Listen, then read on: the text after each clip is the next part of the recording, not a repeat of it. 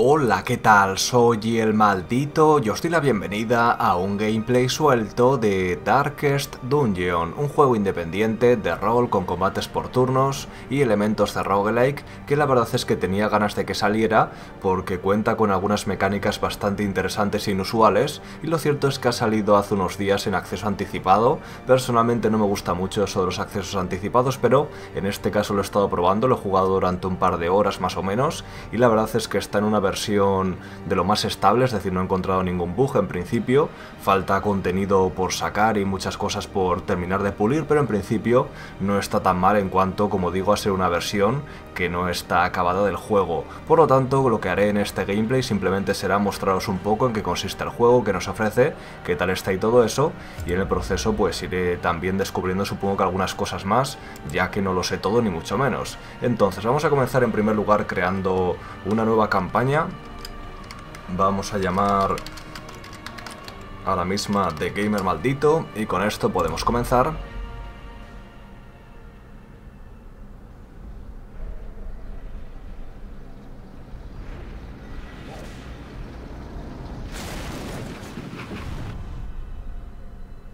You will arrive along the old road. It winds with a troubling, serpent-like suggestion through the corrupted countryside. Leading only, I fear, to ever more tenebrous places.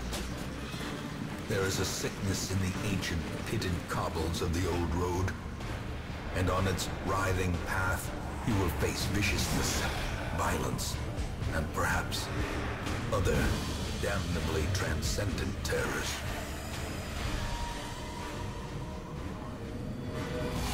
So steel yourself, and remember there can be no bravery without madness. The old road will take you to hell, but in that gaping abyss,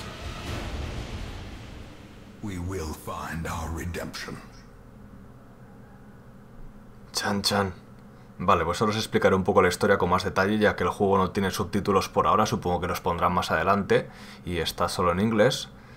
Entonces, antes de comenzar, os comento muy rápido cuál es el planteamiento inicial de la historia. Se supone que nuestro padre tenía, digamos, no sé si tanto como un reino, un poblado, una aldea. La cuestión era, es que se supone que era bastante rico y se pasaba el día pues dándole al tema, vamos a decir, en cuanto a utilizando sus riquezas para pasárselo bien, alcohol, eh, sexo, todo lo que surgiera para divertirse y entretenerse, lo hacía y se supone que se aburre ya de esas cosas como que ya tiene tanto nivel de riqueza y ya tanto con esas cosas que le parecen ya aburridas, con lo cual se pone a investigar ciertos documentos y descubre que bajo su mansión se supone que hay ciertas leyendas de que podría haber alguna energía oscura, algún tipo de criatura, misterios que resolver, se pone a cavar debajo de ella y después de cavar mucho y en el proceso pues digamos que utilizar muchas vidas humanas y todo eso, consigue encontrar una especie de puerta supongo, que se abre y da acceso a nuestro mundo, a los dioses oscuros. No sé si de forma literal son los dioses oscuros de la mitología de Lovecraft,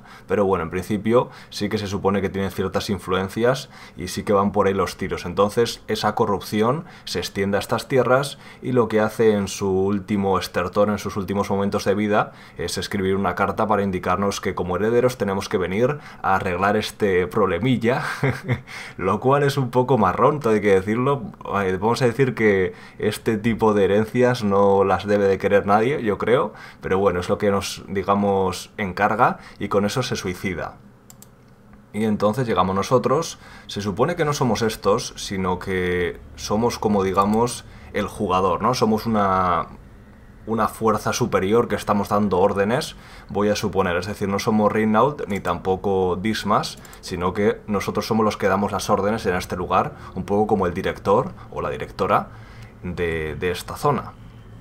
Entonces acabamos de llegar, hemos visto esa pequeña introducción en la cual la, la, sí, la carretilla esta o la carreta se cae por ahí y nos dejan controlar a nuestros personajes. Entonces, voy a ir comentando sobre la marcha muchas cosas que las mecánicas no es que sean tan simples al principio. Luego ya sí que te acostumbras y son simples, pero inicialmente pueden ser un poco más extrañas.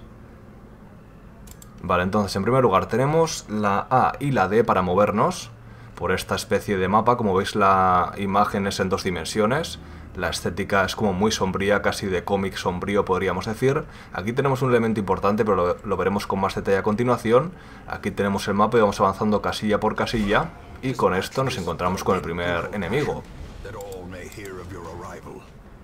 Entonces, cada uno de los personajes, hay como 10 clases actualmente, no sé si habrá más en el futuro, tiene diferentes habilidades y cada una de las habilidades se puede utilizar en diferentes situaciones. Entonces, por ejemplo, tenemos este ataque que sería abrir venas y vemos que su precisión sería 85 puntos, un 15% menos de daño, digamos, de base, con lo cual haces un poco menos de daño, pero tienes un efecto de sangrado que dura 3 rondas y son 2 puntos de vida por cada ronda. ¿Veis arriba que hay unos puntitos amarillos o sí, un tono como, digamos, beige o algo por el estilo? Y se supone que representa la posición del personaje. Entonces, imaginad que aquí hay cuatro casillas y él está en la segunda, con lo cual puede utilizarlo para atacar a este enemigo. Y el rojo representa la posición del enemigo, con lo cual puede estar en cualquiera de las tres casillas del- delanteras y atacar a cualquiera de los dos que hubiera por aquí. Entonces vamos a comenzar, sí, abriéndole las venas. Y con esto está sangrando un poco y le hemos hecho un poco de daño. Pasamos al siguiente. Tenemos también más habilidades. Tenemos la opción de cambiar de posición y un montón de cosas más, pero no voy a entrar en detalle. Vamos a pasar a intentar aturdirle. Que sería este ataque. Y como podéis ver, hace menos daño. Un menos 67% de daño. Y 100% de probabilidad de aturdimiento base. Esto no quiere decir que vayamos a acertar siempre, sino que hay que compararlo con los atributos de este personaje, este enemigo, que es un humano que tiene 25% de resistencia al aturdimiento. Vamos a intentarlo porque tiene poca resistencia. Lo hemos conseguido, con esto está aturdido y pierde su turno. Entonces podemos pasar a la ronda 2 y atacamos de nuevo. De lo que tenemos vamos a continuar con lo mismo. En este caso el capullo ha esquivado va a atacar él antes que yo, atacándonos a ambos. Pero bueno, no ha sido muy problemático, así que acabemos con él ya. Y zanjamos el tema y podemos recoger la recompensa por aquí en forma de riquezas. Entonces, otro tema muy importante es que tenemos vida y tenemos estrés. El estrés en este juego es clave, 100% clave, de cara a que la aventura salga bien o mal. Como veis, el estrés me, va aumentando de forma pasiva en base a la iluminación y otros factores. En este caso, el señor Dismas ha ganado más 3, tiene 13 de 100 y representa pues eso, lo nervioso que estás de estar en esta situación. Si llegas a 100 pueden ocurrir cosas buenas o malas, pero generalmente suelen ser bastante malas y se puede liar parda en un momento, se vuelven locos y la lían parda. Entonces la iluminación la tenemos por aquí. Vemos que ahora mismo tengo 82 puntos de iluminación y representa cuán bien vemos en esta zona. Al estar en 82 tenemos un punto bastante elevado, digamos, y esto hace que sea más sencillo que podamos ver lo que hay alrededor en la zona, lo veremos más adelante, que seguro que surge, y también más probabilidad de que pillemos por sorpresa a los enemigos, con lo cual ganamos un ataque inicial. Y aquí tenemos comida y tenemos oro, veremos también más cosas al respecto. De momento podemos saquear este elemento del escenario, y con ello recogemos oro y un citrino que nos da 250 de oro. Ahora mismo lo vais a ver que lo tengo aquí, pero al terminar la misión directamente se vende, con lo cual no hace falta que lo vendamos nosotros, ni tampoco es un material ni nada, es un simple objeto, entre comillas, de basura, pero como digo que se traduce a oro cuando terminemos la misión. Podemos pasar por aquí y llegamos al final del camino.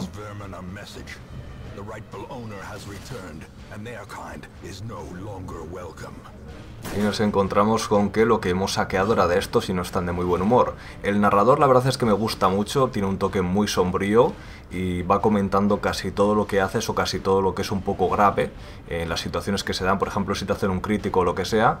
Yo hablaré en ocasiones por encima de él, mm, no hay más remedio, pero, pero la verdad es que merece la pena ir escuchando porque ambienta muy bien y tenemos entonces ahora la opción de hacer diversos ataques. Este ocupa como dos casillas prácticamente, una y media pero creo que es como dos. Así que, por ejemplo, si yo quisiera hacer esto, doy a los tres. Pero si tuviera una opción como esta, veis que solo puedo darle a él. A pesar de que hay dos puntitos, no puedo atacar al que está detrás. Entonces, este estamos viendo que tiene más probabilidad de resistirse al aturdimiento. Aún así, yo creo que merece la pena intentarlo, en un caso hipotético, y lo que sí que puedo hacer es intentar disparar al que está atrás, en este caso esquivado, y aquí tenemos un ataque doble que también podríamos golpear a varios, pero en este caso no. Vamos a intentar aturdirle, a ver qué pasa. lo ha resistido el capullo, vale. También hay que decir que cualquier pequeño error en este juego te puede pasar factura fácilmente. Entonces vamos a cambiar de, digamos, táctica, vamos a causar un sangrado para que vaya perdiendo vida. También tiene resistencia al mismo, parece ser. Y en este caso vamos a seguir atacando de forma normal. Esto ha sido bastante improbable que ocurriera un crítico como ese. Pero sí, ha salido y cuando haces críticos muy grandes o matas de un golpe a un enemigo o ves que vas ganando por mucha ventaja o que te está resultando muy sencillo, digamos, enfrentarte a los enemigos, te sube la moral o te baja el estrés, que se representa con ese brillo, digamos, blanquecino o dorado. Y la verdad es que es muy importante que eso ocurra todo lo a menudo que se pueda. Pero bueno, este es un combate muy sencillo, acabamos con él de un cuchillazo. Podemos recoger diferentes recursos, entonces oro, recurso directo, esmeralda como digo se vende al final del combate y tenemos otros recursos más especiales como por ejemplo esta especie de escudos familiares y también escrituras, podríamos decir, sí. Y esto se utilizará después para mejorar nuestra zona, nuestro campamento, nuestra aldea. Entonces aquí vemos un cofre que podríamos abrir. La misión ya está completada y me puedo pirar si quiero. Simplemente haciendo clic aquí, pero si queremos podemos continuar explorando una mazmorra. A veces completas el objetivo, pero te apetece seguir buscando más cosas o lo que sea, y puedes continuar. Entonces, por ejemplo, este cofre nos pone que tiene una trampa. Si miramos con el clic derecho podemos ver atributos muy detallados de cada uno de los personajes. Y este vemos que tiene un 20% de resistencia a las trampas, mientras que el otro tiene 0%, con lo cual lo lógico creo que es abrirlo con este personaje. Aún así le van a hacer daño lo que sea, pero bueno, se supone que es como hay que hacerlo. Entonces, en este caso lo que han hecho ha sido como ponerme una especie de enfermedad. No es enfermedad como tal, sino como una especie de maldición, algo por el estilo, que nos va a hacer perder vida poco a poco. Funciona como un sangrado a nivel práctico, pero bueno, no es nada grave, así que terminamos la misión.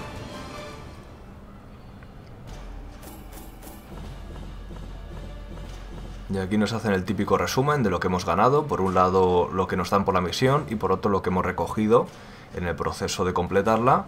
Entonces 1125 de oro, más 250, más 500, 1875. Y aquí está el resumen de los cuatro recursos principales que hay ahora mismo, de cara a utilizarlos, como decía, mejorar tu aldea. Luego cuando vas completando misiones también ganas experiencia como es habitual en, los juegos de rol. En este caso es como una experiencia especial digamos que tiene más que ver con tu mm, valentía o algo similar y en este caso subido de nivel. Yo si quiero puedo volver al poblado y no tocar nada por aquí y ya está. Pero si queremos podemos intentar sacar un beneficio. Como veis hay una máscara aquí, típica de teatro, la mitad sonriendo la mitad triste. Esto quiere decir que me puede tocar algo bueno o algo malo. Entonces te la juegas cada vez que intentas obtener un beneficio. Es un poco extraño porque en la mayoría de juegos de rol, cuando subes nivel siempre obtienes cosas buenas, pero yo por ejemplo hago clic y esta vez me ha salido un 5% de resistencia a aflicciones, con lo cual es bueno, ¿no? Y con este un 10% más de daño a distancia, también es bueno, pero podría haber salido algo en rojo, que sería un defecto, vamos a decir, como por ejemplo que te has vuelto alcohólico, o tienes anemia, o cosas así, y con esto me recuerda un poco a Rogue Legacy, no tiene mucho que ver, pero me recuerda un poco.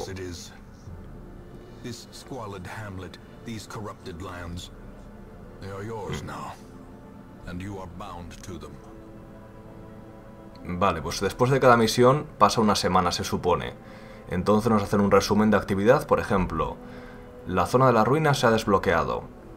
Dismas ahora es aprendiz de, su clase que es Highwayman, no sé lo que quiere decir, pero bueno, como hombre de las tierras altas o algo así supongo que será. Y Reynolds es cruzado, de nivel 1 o aprendiz cruzado. Y luego aparte pues nos veremos con informaciones más detalladas más adelante cuando tengamos más misiones y todo eso. Y luego aquí tenemos como diferentes objetivos a largo plazo, que uno por ejemplo sería vencer al aprendiz nigromante o al príncipe de los cerdos o cosas así, y son como jefecitos de las diferentes zonas. También hay diferentes objetivos, como por ejemplo subir a un cruzado a nivel 6 y el resto de clases, y esto es para que trabajes en algo a largo plazo, como digo, pero a corto plazo puedes hacer muchas otras cosas de, de cara a las misiones normales.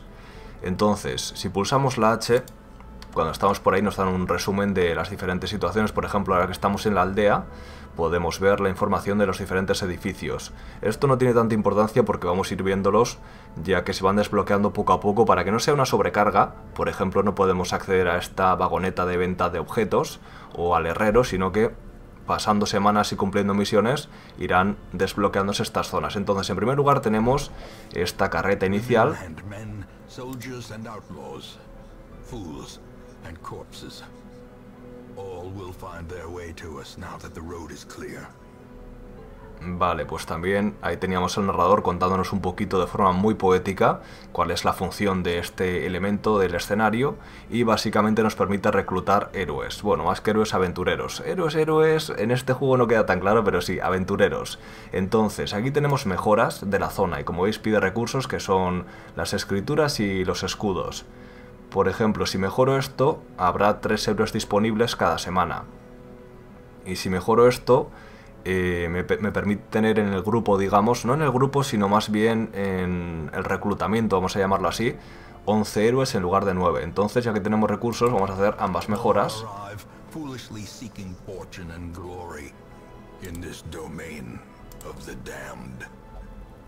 Vale, por lo que veo no aparece el tercero directamente, sino que tendríamos que pasar otra semana y aquí nos pone el 20% mejorado de esta zona. No sé qué ocurrirá si lo mejoras al tope, tampoco sé si en esta versión está disponible, pero bueno, la cuestión es que tenemos dos nuevas clases. Por aquí tenemos a una especie de clériga, vamos a decir, que ahora miraremos con más detalle, pero básicamente pues tiene una función como de curación y ataques sagrados principalmente, y se suele llevar en la parte trasera del grupo. No es tan simple como eso, pero vamos a simplificarlo así y después entramos en detalle. Y tenemos a un doctor de la plaga que utiliza, digamos, un poco la alquimia prácticamente, en cuanto a que intenta envenenar a los enemigos o causarles sangrados y ese tipo de cosas, y también con un toque curativo, pero más indirecto, digamos, más de apoyo al grupo.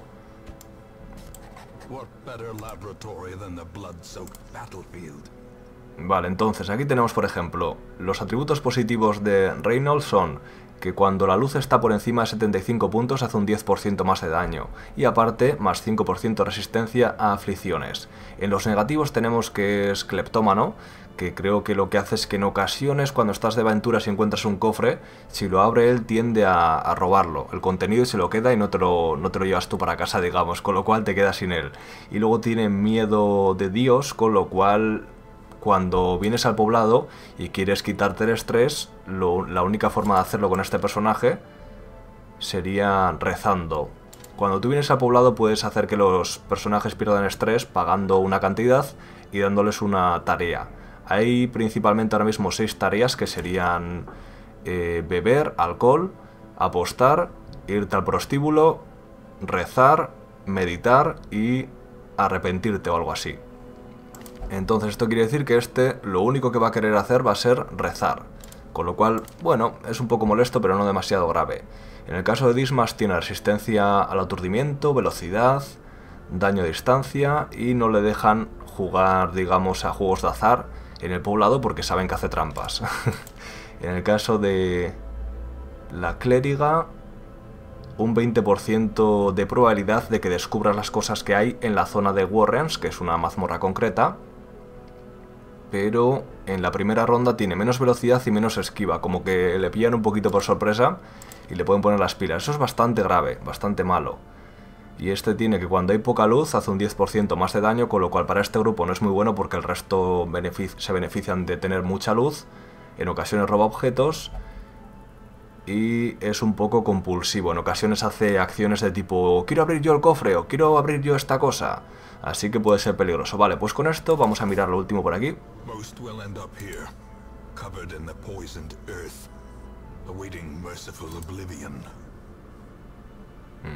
Que sería el cementerio, de momento no tenemos a nadie allí, no hemos muerto con ninguno, pero simplemente te muestra la información de se ha muerto no sé quién, puedes mirar eh, su información de cómo ha muerto, no le he visto mucho uso, pero es para eso. Entonces actualmente tenemos 5 mazmorras o 5 zonas. La mazmorra oscura, que es la que da nombre al juego, la más oscura, no está accesible por ahora, supongo que será la zona final del juego. Y la cueva esta tampoco está disponible. Están disponibles estas tres en esta versión de acceso anticipado. Y ahora mismo solo podría irme a las ruinas. Entonces, ahora mismo solo tengo una misión disponible que sería corta, no tenemos campamento en ella, y de nivel 1 de aprendiz y el objetivo es completar el 100% de las batallas de habitaciones, que veremos ahora mismo lo que digamos implica eso, y aquí tenemos la recompensa y tenemos que ordenar el grupo como queremos que vaya. Por ejemplo, este va a ir en cabeza, estamos viendo aquí sus posiciones preferidas en base a las habilidades y aquí sus objetivos preferidos. Este va en la segunda posición, aunque también le gusta la tercera como veis. Esta señorita puede ir en esta posición o la de atrás, pero parece que esta es la mejor. Y eso es como se calcula o cómo lo calcula el juego, pues mirando las habilidades que tiene, estamos viendo que la única posición en la cual puedo utilizarlas todas es esta. Así que, tan simple como eso. Y por último, el doctor, que le gusta más esta, pero bueno, lo vamos a poner aquí porque no hay más remedio. Vale, pues con esto vamos al tajo. Entonces, ahora viene otra mecánica muy interesante e importante del juego. Me dicen que como es mi primera misión corta, que lleva al menos 8 de comida y 4 antorchas. Entonces aquí puedes comprar provisiones para el viaje, digamos, para la aventura. Esto gasta lógicamente tu oro que has ganado previamente y la cuestión es que la mayoría de estos son consumibles, la mayoría no, todos son consumibles, que los tienes que utilizar en la misión porque cuando terminas la misma ya no recuperas los mismos, los pierdes y no te dan oro a cambio ni nada, con lo cual si tú te preparas demasiado para una misión estás gastando oro de más y luego lo pierdes. Si te preparas poco, vas a pasar las canutas y en, algunas ocasiones puede llevarte a la muerte. Entonces hay que jugar mucho con esa dinámica de cuánto quieres llevar o qué crees que vas a utilizar y si vas a estar más preparado o menos. Yo generalmente llevo bastante comida, bastantes antorchas y luego si veo que es oportuno para la zona, una llave maestra de estas, una pala y agua sagrada. Pero el agua sagrada no es tan importante, simplemente la llevo para mostraros un par de cosas si salen y la pala pues tampoco tan a menudo. En general, con que lleves antorchas y comida suele ser suficiente, pero lógicamente en algunas zonas encontrarás más obstáculos de un tipo o de otros. Entonces voy a poner un poquito más de comida tal que así, para mostrar otro par de cosas y así de antorchas debería ser suficiente. Entonces aquí entra en juego el tema de roguelike en cuanto a que los niveles se generan de forma aleatoria y lo que te encuentras en los mismos. Pero las zonas sí que son temáticas. Por ejemplo, ahora estamos en las ruinas, con lo cual ya sé más o menos que voy a encontrar no muertos principalmente. Y por ejemplo podemos encontrar este tipo de vidriera que está cerrada y si utilizamos una llave la podemos abrir. También podríamos forzarla, pero en ocasiones si la forzamos pues puede que no la abramos correctamente, que haya penalizaciones o incluso que no obtengamos nada y perdamos el contenido. Entonces voy a utilizar... Creo que para esto da igual, pero por si acaso... A este señor, hacemos así, consumimos la llave y hemos obtenido un montonaco de riquezas, así que ha merecido la pena. No siempre vas a encontrar justo esto, ha coincidido pero en este caso así ha sido. Ahí había una trampa que estaba oculta, realmente no la hemos visto. Y nos ha hecho daño y aparte nos ha bajado, bueno, nos ha subido el estrés. No hay nada que se pueda hacer al respecto más que simplemente poder detectarla antes de tiempo. Y como veis hay como cuatro casillas, quiere decir que puede haber un máximo de cuatro eventos en esta zona.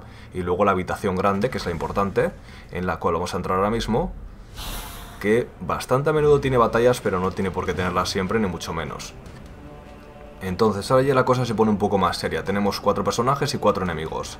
Es importante planificar bien a quién vas a atacar y sus posiciones también son importantes. Por ejemplo, este que está aquí, el arbalero creo que es, que tiene la ballesta, puede atacar desde aquí con un disparo bastante potente, pero si lo metes en la posición delantera, solo te puede pegar golpes de menor daño y menor peligro. Entonces hay muchas habilidades que te cambian la posición, tanto de tus personajes como de los de ellos. De modo que esto, por ejemplo, hace daño a estos tres. Hace poco daño, pero los va a debilitar ligeramente, espero. Sí, de hecho ha hecho más daño del que suele hacer. Ha sido una tirada de suerte, digamos. pero los debilita lo suficiente para que ahora yo con los demás pueda darles caña. Otro tema importante es que los curanderos en este juego no curan mucho. No es como en otros juegos que, ah, pues me cura a tope. No, no, no, no, no. Aquí te curas un par de puntitos y vas tirando si eso. Entonces ahora tenemos aquí al Doctor de la Plaga. Otra cosa también importante es que no sabemos el turno, en qué orden va a ir, no sabemos en qué orden van a atacar nuestros personajes ni los enemigos, con lo cual es como toque y supongo que es en base a, a la velocidad principalmente, pero puede surgir que ataque dos veces un enemigo y después el tuyo y así, así que hay que estar preparado para lo que sea. Entonces, por ejemplo, esto lo que haría es que se lo lanzo a alguien y mueve su posición, lo descoloca, digamos.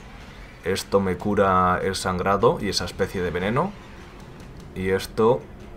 Mm, vale, esto puede envenenar a los enemigos. El Blight este es sí, como un veneno, pero que funciona específicamente sobre todo con no muertos. No funciona, por ejemplo, el sangrado con ellos. No pueden sangrar porque están muertos, pero esto sí. Ahora aquí tenemos un ataque doble para los dos delante. Lo he colado correctamente y con esto estos avanzan. Entonces este ya no me puede disparar a los que están atrás, sino que solo me puede pegar con esta cuchilla. Aquí tenemos una curación, ya ves, de 3 a 5, puede curar a una persona o de 1 a 2 a todo el grupo, lo cual es una miseria. Esto provoca que la antorcha se ilumine un poco más, que ahora mismo tenemos más estrés porque no ilumina tanto, como veis, y aparte que el enemigo no pueda esquivar tan bien. Y luego tenemos un ataque que sí que es bastante práctico y hace que ella misma se cure. De momento vamos a curar a este señor. Tres puntitos no es nada, pero bueno, poquito a poco se va subiendo. Vale, esquivamos el cuchillazo. Este también suele tirarte con la copa. Una materia desagradable y te sube mucho la locura de 4 a 9, lo pone abajo cuánto podemos hacer, eso está muy bien porque no tienes que calcular por tu cuenta, sino que ya estás viendo abajo. El héroe puede, el héroe puede golpear con un 80% de probabilidad, o tiene un 80% de probabilidad de acertar, un 5% de crítico y de 3 a 7 de daño sin contar crítico. Y es con ese ataque en concreto, con lo cual ha salido bien, y ahora a este le causamos un poquito de venenito, y el efecto se aplicaría en su turno, con lo cual en este caso no ha funcionado, pero si lo hubiera conseguido hacer Blight, pues en su turno recibiría el daño y moriría en el proceso prácticamente. Entonces hay muchas cosas que os estoy explicando yo, pero que de primeras no las sabes. Eh, tienes que ir jugando y aprendiendo en el proceso. Entonces tenéis información privilegiada en ese sentido, pero no siempre vais a saber, por ejemplo, que un enemigo tiende a hacerte este ataque. Como digo, ese de la copa suele hacerlo de la copa cuando está atrás. Cuando está delante parece que más bien suele dar cuchillazos que falla a menudo. Entonces, este es otro tipo de obstáculo.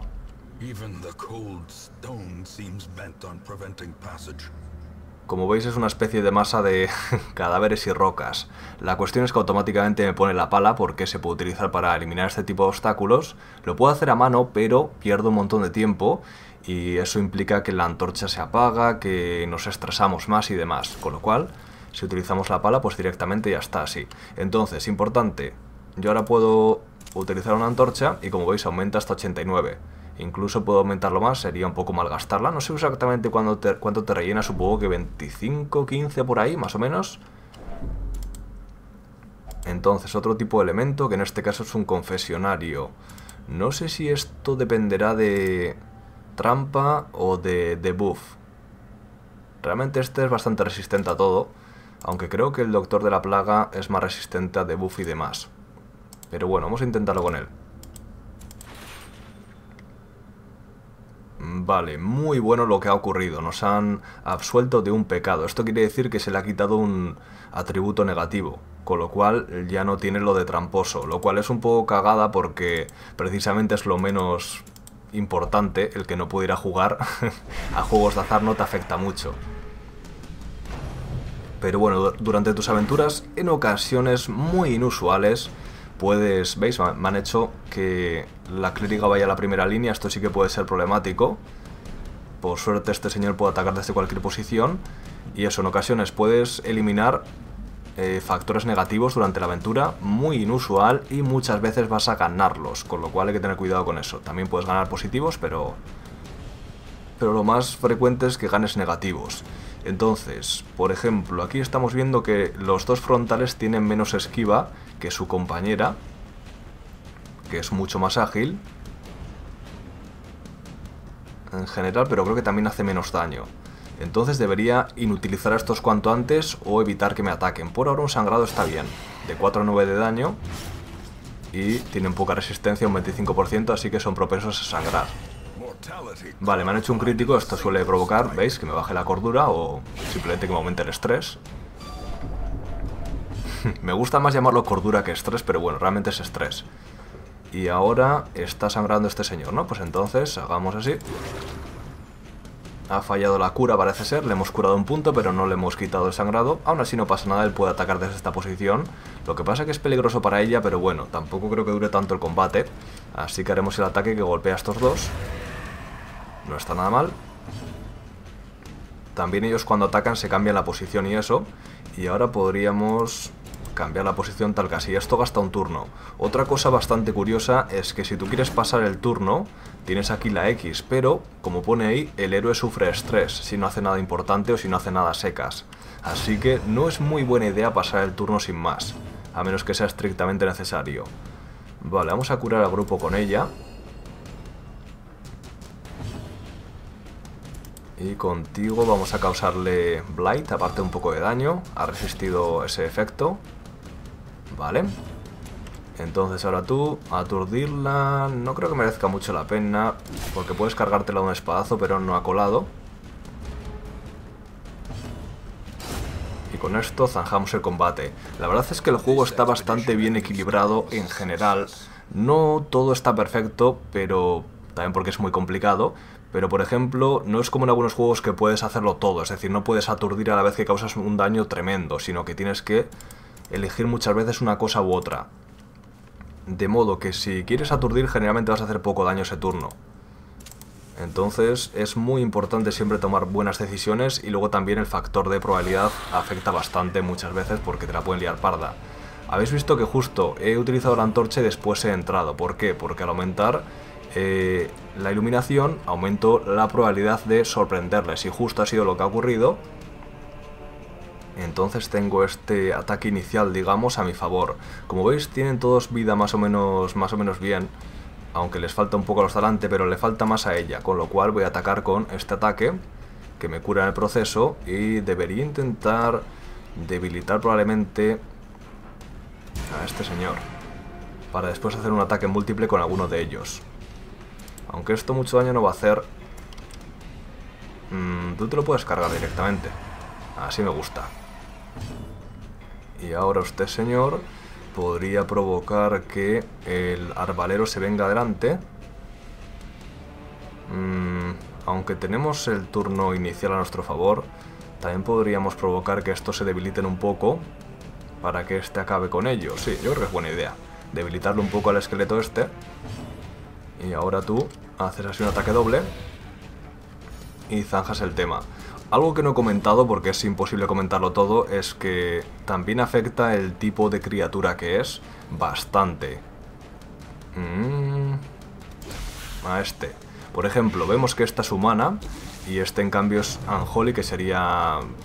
Pues básicamente en el juego es un no muerto, pero sí sería como algo corrupto, algo que no es sagrado. Literalmente sería. También hay Eldritch en referencia a los dioses antiguos, o los dioses olvidados, y también hay bestias y otras cosas, y todo ese tipo de criaturas pues tienen sus propios,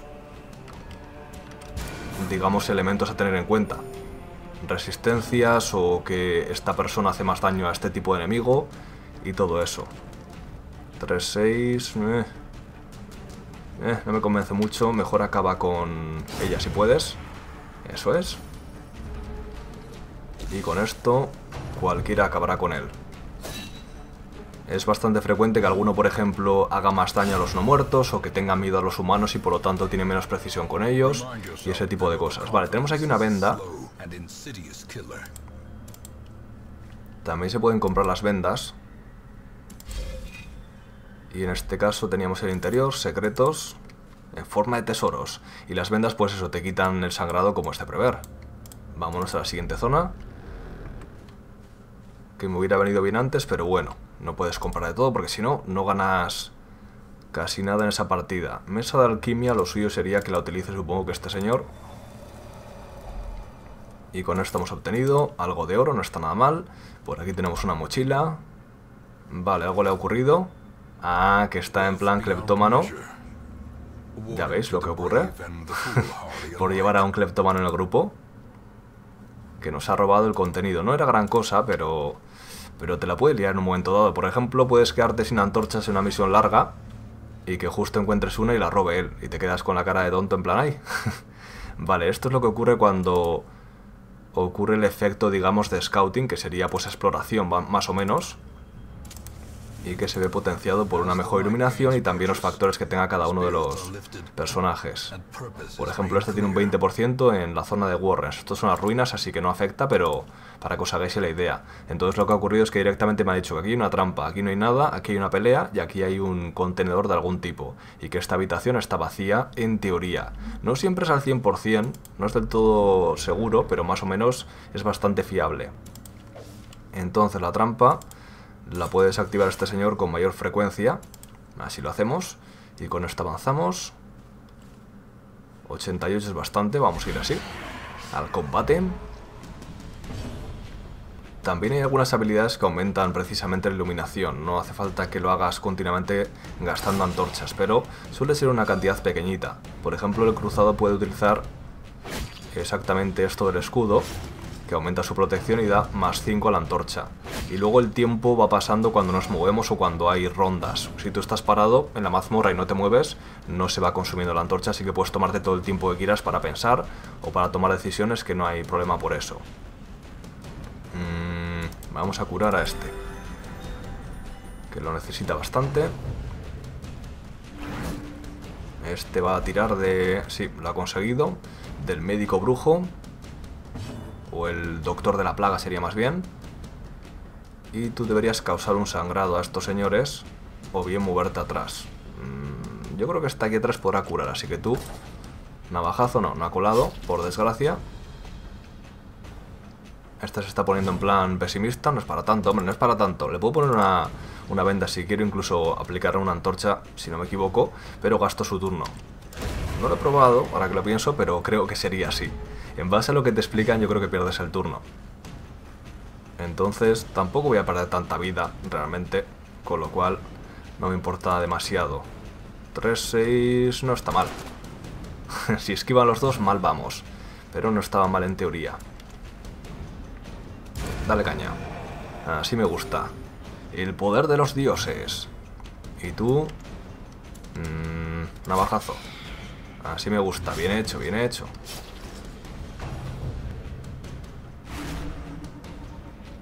Vale, no es muy importante, pero veis que no ha hecho prácticamente daño, pero sí que me ha causado mucho estrés. Eso es bastante común, ataques especiales que te aumentan muchísimo el estrés. Por ahora estoy controlándolo más o menos, estoy manteniendo una buena iluminación. No estamos viendo que el estrés aumente demasiado por ese motivo. Pero os aseguro que es una de las cosas más peligrosas del juego. Y que pueden llevar a perder un combate o, o que te maten a todos. Cada uno que muere, muere para siempre, no lo consigues digamos, revivir de ningún modo, al menos por el momento. Lo que sí que es curioso es que cuando te queda poca vida, entras en modo a las puertas de la muerte. Y eso quiere decir que no te van a matar de un golpe, sino que te vas a quedar a cero de vida. Y si recibes daño en ese momento, entonces sí mueres. Con lo cual, si le curas a tiempo, le sacas de las puertas de la muerte y no se muere tan rápido. Tienes esa oportunidad adicional para sacarle del embrollo. Pero muchas veces te atacan suficientemente rápido como para matarte en ese margen de tiempo antes de que puedas hacer nada. Vale, nos quedan pocas antorchas, pero bueno, espero que las estoy utilizando de forma abundante, no hay problema por eso. Aquí tenemos una librería. Mm, vas a leer tuyo, creo. Venga, va. Vale, aquí podemos encontrar beneficios, perjuicios, a veces atributos permanentes también de ambos tipos, y en este caso hemos encontrado un mapa simplemente que nos muestra que hay aquí un par de contenedores. Tampoco... Los mapas sí que suelen ser incompletos, es decir, no te muestran las trampas y eso, pero... No me robes, tío, no seas huevón. Encima trampa, te jodes, por tonto. Aunque me joda el grupo, te lo mereces. Eso ya me jode más. Vale. Entonces, otra cosa que quería mostraros. La comida te la piden ellos, tú no tienes que alimentarles. Como veis, no hay ningún indicador de que tengan hambre, sino que pasado un tiempo te dicen, estamos hambrientos, alimentanos. Y les puedes dar de comer o no. Si no les das de comer, sufres consecuencias en cuanto a vida y estrés. Y si les alimentas, pues simplemente se reponen un poco. La vida cura un poquito de nada, dos puntos o uno, dependiendo de lo que toque en esa ocasión. Entonces no merece mucho la pena abusar de ella para esto. Sí que te sirve, por ejemplo, cuando está al borde de la muerte a alguien, pero por lo demás no deberías utilizarla en eso. Casi nunca. Ya nos vamos a la última zona, con lo cual gasto esa antorcha. Aquí tenemos un confesionario. Tú eres un hombre de Dios, así que entra para adentro. No creo que tenga mucho que ver, pero... vale, aquí tenemos justo una antorcha más, genial. Que nos la podemos llevar. Y con esto, dos casillas que desconocemos, que parecen seguras, y ya para zanjar, pues hacemos así. Y ya que no me habéis pedido comida, pues así, y para adentro. Vale, pues combate final. No siempre hay combate al final, ¿eh? No tiene por qué ser, pero ya que esto se consume y ya lo pierdes, pues no tiene sentido mantenerlo de forma innecesaria. Vale, pues tú podrías hacer 3-6 a 3 personas, pero... Probabilidad 75. Mm, venga, va. Ah, huevón. huevón. Hubiera sido bueno para debilitarles y acabar con ellos con el resto de compañeros. Vale, pues nada, tú deberías causarle a este. No me jodas. Estáis fallando mucho, ¿eh? Estáis fallando mucho. Tú de momento dedícate a hacer curaciones de grupo, que no es demasiado, pero es bastante estable. Realmente la curación directa es de 3 a 5, puede parecer que es mucho más que la otra, pero el curar de forma estable de 4 a 8 es mejor que de 3 a 5. Vale, pues tú... Matar no vas a matar... Bueno, si con un crítico o con un golpe fuerte, sí. Inténtalo. Eso es, eso es, bien hecho. Y como le hemos matado de un golpe y con bastante motivación, pues hemos perdido un poquito de estrés. Y ahora tú... Tú da un navajazo, que eres un poco malo con la pistolita. y tú continúa con esto, o si quieres puedes pegarle un golpecito a este y acabar con él. Que tenemos margen de vida de sobra por ahora. Esto nos aumenta el estrés, la capulla. Ahí lo tenemos. Y tú vas a tirarle a este, eso es. Esa sustancia para que esté envenenado. Y ahora aquí el señor les pega ahí una acusación divina. Y solo nos queda acabar con esta cultista. Y zanjamos el combate. Y como veis, como ha hecho un crítico, directamente todos los del grupo dicen ¡Eh, de puta madre, un crítico! ¡Hue, hue, hue! Les, les baja el estrés. Les sube la moral y les baja el estrés, vamos. Entonces, hemos completado la misión, nos podríamos pirar, pero queda aquí un rico cofrecito. Mm, no parece que tenga nada sospechoso así de primeras, tampoco requiere llave. Entonces, ábrelo tú. Y quiero hacer un experimento ya que estamos, porque como digo, esto se pierde. Ah, pues no sabía que eso podía ocurrir, mira. Pues está bien experimentar en el juego, está claro. Parece ser que hemos detectado un compartimento secreto oculto al utilizar la llave. Creo que ha sido por la llave en sí misma, porque no había visto ese efecto yo previamente. Y es porque no utilizaba las llaves en los cofres abiertos, pero veamos que se puede hacer. También encontramos en ocasiones elementos por ahí un poco extraños, como cadáveres o cosas así, o especie de altares y así, y si utilizas agua sagrada, pone que purga el mal y restaura la pureza, o restablece la pureza. En el proceso puedes conseguir más a menudo, en mi experiencia personal, efectos positivos al utilizar esos altares. Por ejemplo, altares Eldritch o lo que sea. Parece que a Cthulhu le muela el rollo del agua sagrada y te da beneficios más a menudo. Entonces, por eso también puede merecer la pena llevarlo. Realmente, las mecánicas del juego, una vez sabes cómo se juega, no son muy complicadas, pero inicialmente sí que te pueden dar un poco de vértigo y la puedes cagar muchísimo simplemente por desconocimiento. Pero una vez ya sabes cómo se juega, es bastante interesante porque son mecánicas mm, relativamente inusuales y originales y, y hay que jugar mucho con arriesgar, no arriesgar, ser paciente, estratégico, pensar bien lo que vas a hacer. Entonces hay mucho riesgo-recompensa.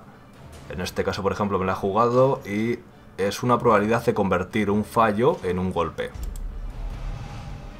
Este ha obtenido dos cosas. No necesariamente tiene por qué ser del todo negativo, pero tiene la rabia y básicamente tiene menos 10 a la precisión, pero más 20% al daño. Y aparte un 10% de resistencia al estrés. Mm, para este en concreto va a ser por culero porque el capullo falla un montón. Esta está obsesionada con matar, no sé cómo afecta eso. Hay algunos eh, factores negativos que no tengo tan claro cómo afectan. Yo creo que igual es que... Se me ocurre ahora mismo que igual intentas escapar de un combate y dice no, no, yo quiero matar, yo quiero matar y se queda. Y te obliga a seguir combatiendo. Hay cosas así que no son tan graves de primeras pero pueden pasar factura. Y este en las ruinas hace un 15% más de daño, lo cual está muy bien. Vale. Entonces sí, podéis jugar con... ¿Abro el escudo y veo lo que hay en el interior o no? Me la juego.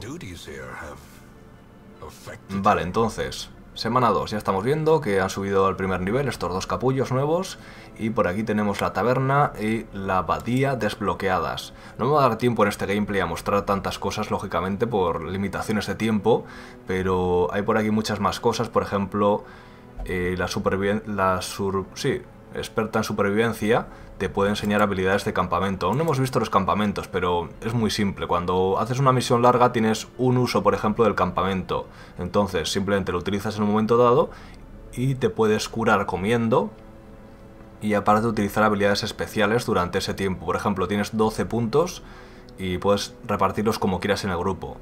Por ejemplo, esta señorita lo que hace es que puede rezar, cuesta 4 puntos de tiempo de esos 12 y lo que hace es que todos los compañeros del grupo, si son religiosos, pierden 15 de estrés, y si no lo son, 5. Entonces es eso, una especie de descanso que puedes hacer un número de veces por misión. Yo solo he visto una vez, pero supongo que misiones largas y complicadas serán más veces. Y también tienes que decidir bien cuándo vas a hacerlo, qué tipo de habilidades vas a elegir, porque también cambia muchísimo. Por ejemplo, este tiene que Directamente cura un 10% a todos los compañeros y reduce el estrés en 10, pero gasta 5 puntos. O puedes curar 10 eh, puntos de estrés a una sola persona, cosas así. Entonces esta te permite cambiar esas habilidades. Aquí tenemos el clan, vamos a decir la guild simplemente, que te permite elegir qué habilidades tiene cada uno. Por ejemplo, este podría tener en lugar del el escudo o cualquier otra, una curación propia de 1 a 3 puntos. Entonces también se puede hacer eso. O con el herrero podemos mejorar armas y armaduras, que por defecto tenemos las básicas. ¿Qué más se puede hacer también? Aquí podemos comprar alhajas, que no hemos encontrado ninguna por ahora, pero en general son bastante curiosas porque no son como en otros juegos que tienen efectos buenísimos, sino que pueden ser buenas para una cosa, malas para otra. Entonces hay que jugar también con eso, a quién se la pones y todo eso, y no siempre van a ser buenísimas ni mucho menos. De momento vamos a ver la taberna y la abadía.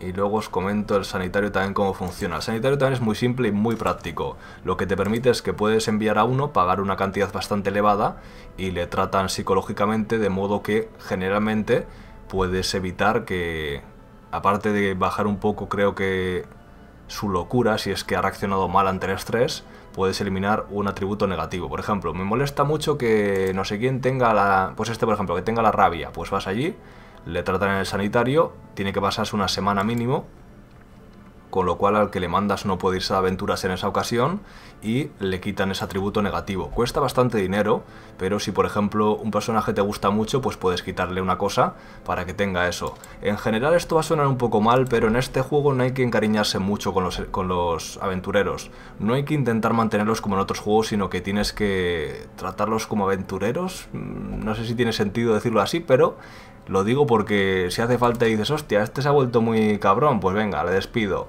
O esta está a punto de morirse, pues venga, que se muera. Como van siguiendo, saliendo nuevos cada día, no merece la pena mucho mantenerlos. Entonces, por aquí tenemos a uno nuevo de otra clase, que sería un cazador de tesoros. Cazador, perdón, de tesoros no, de recompensas. Un cazarrecompensas, sí. 10% resistencia al estrés. Pero cuando hay poca luz, mmm, digamos que tiene bastante miedo por debajo de 25, un menos 20% de resistencia al estrés. Personalmente me gusta mucho esta clase.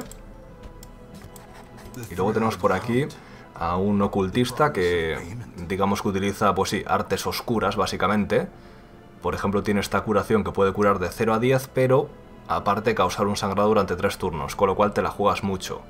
O puedes hacer vulnerabilidades, es una clase de apoyo como para maldecir o, o también curar ligeramente y sobre todo orientada a utilizarla con enemigos de tipo Eldritch. De momento este no me interesa. Y tenemos por aquí a una ladrona de tumbas que es más o menos como un pícaro podríamos decir, con bastantes resistencias en general a trampas y todo eso. Así que no está mal y puede atacar en diferentes puntos de, del grupo, con lo cual no, no funciona del todo mal. Es un poco como casi parecido a este otro, pero más orientada a resistencias de trampas y utilizando ataques un poco más variados en cuanto a, por ejemplo, una embestida que la lleva a la parte frontal de la batalla y cosas así. Entonces, no hay tampoco ninguna penalización, le puedo contratar a todos y no pasa nada. Los puedo dejar ahí, mientras no pase el límite, los puedo tener por aquí. De modo que una cosa importante que se puede hacer es que tú ves que estos están estresados, ¿no? Y tienes cuatro más por aquí que no los utilizas nunca. Pues envías a estos a descansar y te vienes a hacer una misión simple con los principiantes. Y si se te mueren no pasa nada, o si se vuelven locos los despides y ya está. Esa es un poco la, yo creo que la clave inicial para acumular dinero y riquezas. Entonces, taberna, lo que había comentado antes, bar, zona de juego y prostíbulo. Por ejemplo, a esta señorita tiene alguna preferencia, no mucho. Con lo cual vamos a enseñarle la magia de la carne. la vamos a enviar al prostíbulo. 1500 que me cuesta. Por aquí podemos hacer mejoras para que recuperen más o, o pierdan más estrés y también para que te cueste menos utilizar esos servicios. Por ejemplo, hacemos así y hacemos así y con esto ya cuesta menos. Incluso podríamos aumentar el número de huecos a 2. Que ahora mismo solo tenemos uno. Vale, pues tú para ahí que te vas. El problema es que ahora mismo no tendría curandero. Bajo estas condiciones tendría que llevar a, al ocultista, que no es muy bueno que digamos. En esta situación me refiero.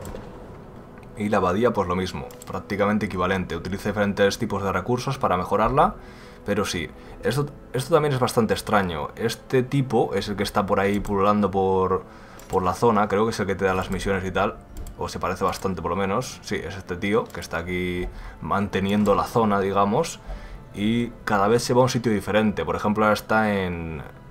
está rezando, ¿no? Entonces tú ya no puedes poner a alguien a rezar, o en otra ocasión igual está bebiendo en el bar, y ya no puedes utilizar esa casilla. No veo que tenga mucha más función por ahora más que dar por culo, básicamente, e impedir que hagas lo que tú quieras. Entonces, tal que así sería suficiente, pero si queremos todavía ir un poco más a lo seguro, podríamos dejar también a este descansando. Este, por ejemplo, se va a poner a meditar. Y como veis, ahora están inaccesibles y tendría que ir con el resto. Los demás están más o menos bien. El problema es que no tengo curandero, pero podríamos llevar a este señor. Y si venimos por aquí, pues ahora mismo solo tenemos las ruinas disponibles. Eh, en alguna ocasión, después de hacer una misión más, creo que sería va a aparecer una de estas disponibles y ya podríamos ir cambiando como queramos. Pero bueno, ahora mismo ya veis que hay cuatro misiones diferentes. De la primera tendríamos una que es de exploración, que sería explorar el 90% de las habitaciones. No podemos utilizar campamento, corta, aprendiz. 100% de batallas, corta, aprendiz. Aquí es de longitud media, sí que tenemos campamento, aprendiz y 90% de las habitaciones. Y aparte de la recompensa tendríamos aquí un, una alhaja que es solo para cruzados, 15% más de probabilidad de aturdir, pero te quita crítico y también ganas precisión, con lo cual está bastante bien. Bastante, bastante bien. Suelen ser peores. Y luego tendríamos esta que también es media, pero de matar. Cuando vas rellenando aquí, lo que estás haciendo es, digamos, hacer el camino hacia el jefe. Y una vez lo has hecho, puedes enfrentarte al jefe en el modo de dificultad correspondiente. Supongo que cuanto más avanzas en diferentes modos de dificultad, más puedes enfrentarte a jefes de mayor nivel. También en misiones de nivel medio, de nivel... Eh, en lugar de aprendiz, pues que sea campeón o cosas así. Y otra limitación es que si por ejemplo este suba a nivel 3 ya no quiere hacer las misiones básicas, con lo cual tienes que empezar a enviar otra vez principiantes, así que también hay que jugar mucho con eso. Solo para mostraros cómo es el tema de los campamentos, voy a iniciar esta misión.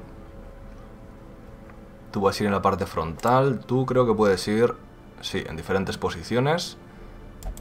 Y la amiga ladrona de tumbas también le da un poquito igual mientras sea por la parte de atrás. Entonces sería tal que así. Vale, correcto. Y con esto compramos los recursos. Esta vez vamos a comprar 12 y 6. Tal que así, como veis también ocupa más espacio, hasta 12 en una casilla y luego ya otra diferente. Vamos a comprar una llave, uno de estos. Y antorchas unas 12 por ejemplo, o una más, 13. Aquí tenemos la madera que nos dan para el tema de la aventura, para hacer el campamento. Y poco más. Y luego también destacar que en las diferentes zonas de mazmorras obtienes a menudo recursos de un tipo. Por ejemplo, en una obtienes más bustos y cuadros, en otra más eh, escrituras y escudos y tienes que ir de aventuras a la que tú quieras en base a las mejoras que quieras hacer en, en esa aldea inicial.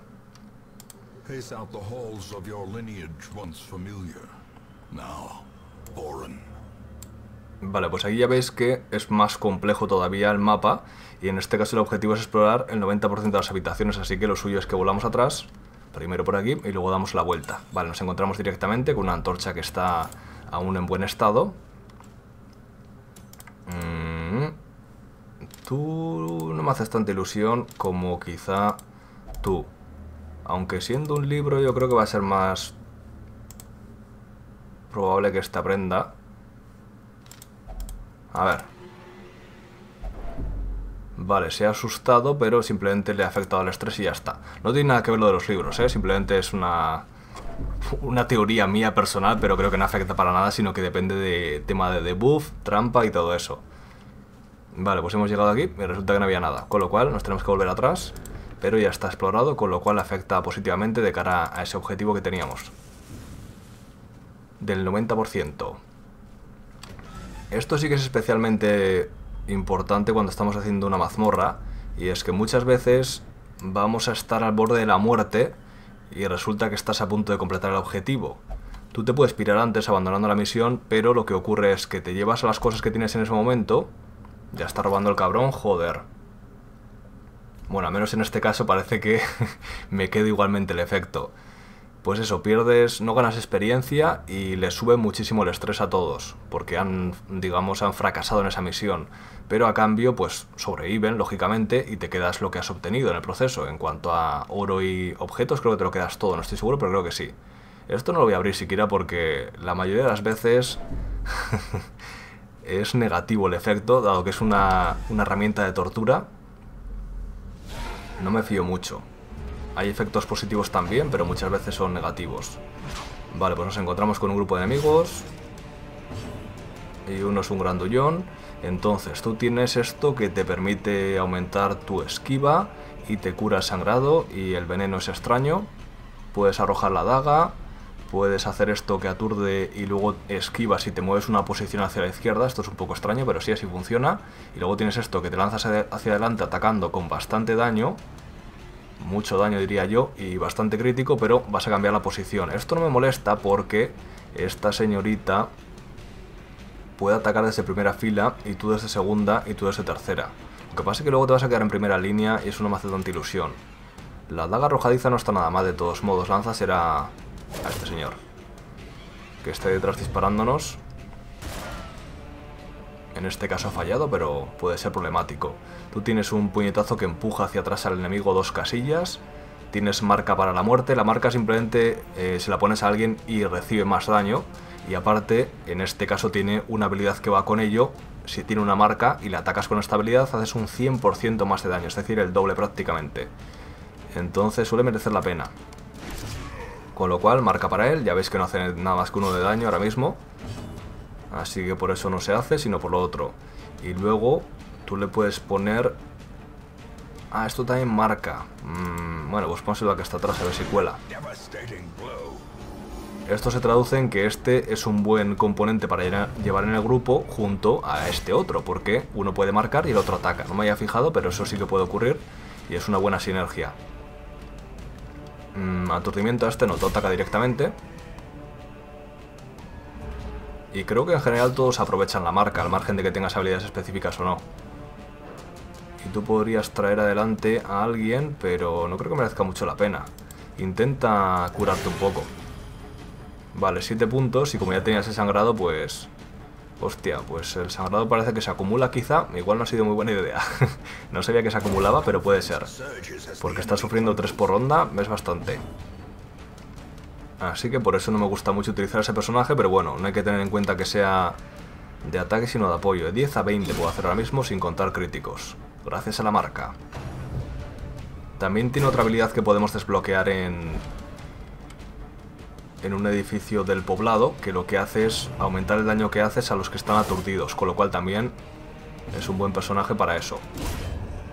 Y como también sirve de tanque, en general es muy flexible, es bueno desactivando trampas, hace bastante daño, puede atacar desde posiciones muy diversas, tiene varios ataques a distancia, también para atraer a los enemigos, marcarlos, entonces me gusta mucho esa clase por eso. En general todas son útiles, ¿eh? no hay ninguna que digas, ah, esta no sirve para nada, pero, pero sí que algunas son más flexibles que otras. Entonces voy a matar a este, voy a utilizar el campamento y ya zanjamos el tema solo para mostrar todo lo posible. Siendo un juego de rol es muy complicado que lo muestres todo en un solo gameplay, pero para mostrar la mayor variedad posible, esa era mi intención. Tú, recolócate. Eh, sí, así mismo, por ejemplo. Y hemos conseguido una alhaja que aumenta en un 20% la probabilidad de causar sangrado, pero baja en 1 el crítico. Y es solo para Jester, que es un tipo de clase que en este caso no ha salido, así que nada, es una especie de bardo como medio bufón también. Y no está nada mal como apoya al grupo. Entonces vamos a abrir esto. Está ligeramente abierto. Vale. Y con ello, ahora como la zona está segura, ya la hemos revisado, pues lo que puedo hacer es quedarme a dormir. Tal que así. Entonces, ya lo he consumido, solo tenía un uso para esta aventura, ya no puedo hacerlo más veces, con lo cual está mal que lo haga ahora, pero como digo es para mostrarlo, ya veis que lo lógico hubiera sido utilizarlo pues a mitad de camino o por aquí delante, o cuando sea necesario, pero principalmente más adelante. Y podemos elegir si queremos darles cero de comida, con lo cual baja su vida y aumenta el estrés, con dos gastados, que supongo que se dan mitad para cada uno, pues se quedan a cero con 4, uno para cada uno, se quedan bien llenos, con lo cual un 10% más de salud, y si les damos un festín de 8, pues básicamente les, sube la salud un montón, 25% es bastante, y les baja el estrés, con lo cual, por ejemplo, así. Y ahora nos dan 12 puntos, no sé si más adelante serán más, pero inicialmente son 12, para gastarlos como queramos entre las habilidades que tiene cada uno. Por ejemplo, este podría curarse a sí mismo y aumentar en 5 su velocidad. No sé cuánto dura ese beneficio, si es hasta el final, o son varios turnos, o cuánto tiempo es. Pero suelen ser bastante buenos. Este reduce la antorcha, pero cura a todos, un 10%. Y esto le baja un 25% de estrés a alguien en concreto. Esto reduce el estrés en un 25%, vale, es como que está haciendo una broma en plan macabra, ¿no? Y puede reducir el estrés en un 20, 20 puntos o en 10. Dependiendo de la probabilidad de lo que te toque. Vale. Y luego tiene esto que incrementa la probabilidad de explorar correctamente hasta el siguiente campamento en un 30%. El siguiente campamento no sé si representa esta otra zona o se refiere hasta la siguiente vez que acampes.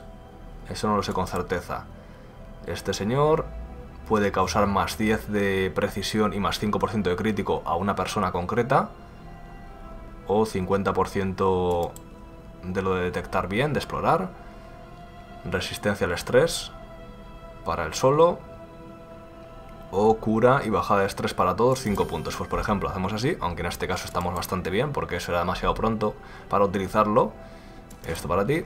Y esto, por ejemplo, para... ¿Tipo de ser? No, creo que no. Tiene que ser para un compañero, entonces para él. Y luego aparte otra cosa es que no podemos utilizar varias veces las habilidades, o al menos la mayoría de ellas no. Ya ves que se quedan en gris, a pesar de que tengo puntos suficientes. Así que en ese sentido estamos también limitados. Entonces ya para zanjar, reducir el estrés de este señor. Y ya tal que así le daríamos a descansar y todavía puede ocurrir algo, pero ya veis que ahora están haciendo comentarios positivos, como que están optimistas, pero te pueden hacer una emboscada mientras duermes. Por ejemplo, tal que así. Exactamente como ha ocurrido. Y como veis además tenemos poca visibilidad ahora mismo, con lo cual más estrés, más precisión y daño para los monstruos, pero a cambio hacemos más críticos nosotros y ganamos más tesoros. Con lo cual, si vas a oscuras vas a ganar muchos más tesoros o más valiosos y también las más críticos, pero es mucho más peligroso. Se puede jugar mucho con esa función. Vamos a probar que hace esto. Simplemente es un gancho, ¿no? Sí, que hace daño a distancia. Vale, entonces voy a hacer así. Y esto aturde. Entonces sería bueno para ti. Y aparte me empuja uno para atrás. Lo malo es que ahora está delante el presunto curandero este. Pero a cambio tiene una daga de sacrificio que hace bastante daño. O podríamos moverle dos posiciones hacia atrás, tal que así. Y luego si está Zora lo mismo, pues ya se queda delante el caballero. O el cruzado. Entonces también puedes jugártela a tener habilidades que no afectan a la posición tanto, pero no te permiten cambiar dónde estás, o puedes intentar eh, utilizar habilidades que te cambian la posición por si te pillan en alguna emboscada. Por ejemplo, el cruzado tiene una especie de lanza sagrada que hace una embestida. Entonces, en este caso, podríamos haber embestido directamente sin perder el turno. O mismamente, esta tiene esto que acabo de utilizar, del aturdimiento y volver para atrás, si no se lo pones y le pones otra cosa en su lugar, pues en este caso tendrías que andar moviéndola y pierdes esa oportunidad. Entonces ahora si hacemos así, ya estamos bien. Y ahora tú haces un ataque doble.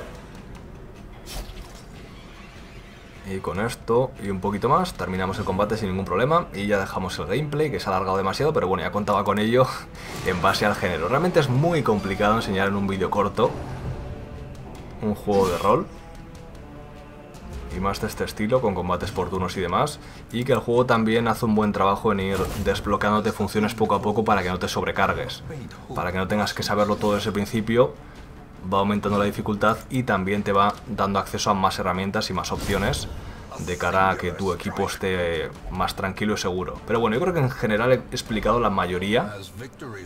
Siempre me quedo un poco a veces con la espinita clavada de que queda algo que no podía explicar, pero en general la mayoría lo he explicado.